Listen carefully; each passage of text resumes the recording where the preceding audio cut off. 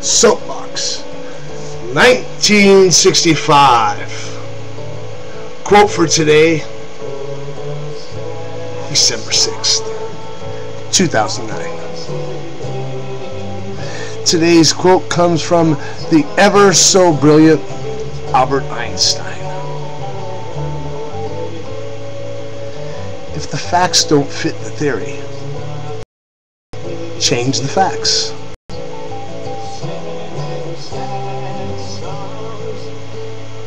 Thank you.